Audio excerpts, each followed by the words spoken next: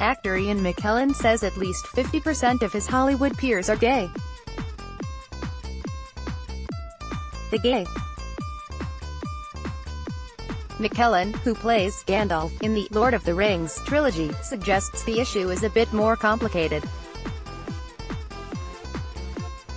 Mr. McKellen, who has been openly about his sexuality for years, said the entertainment industry's LGBT representation far exceeds its percentage of the population as a whole. Nobody looks to Hollywood for social commentary, do they? He deadpanned for a Time Out interview published Tuesday when asked about the dearth of gay characters in blockbusters. They only recently discovered that there were black people in the world.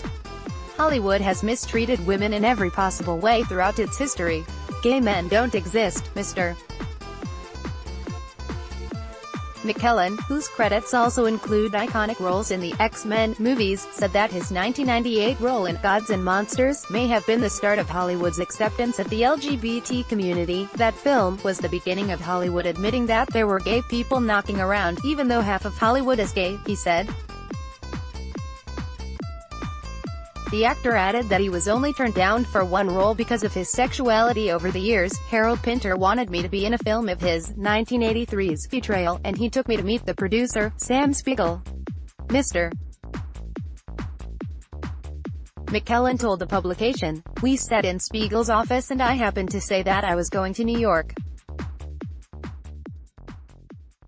He said, will you be taking the family? And I said, I don't have a family, I'm gay. I think it was the first time I came out to anyone. Well, I was out of that office in two minutes. It took Pinter 25 years to apologize for not sticking up for me.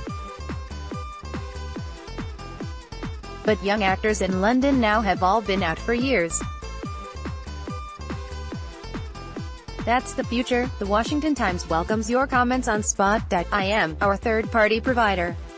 Please read our comment policy before commenting.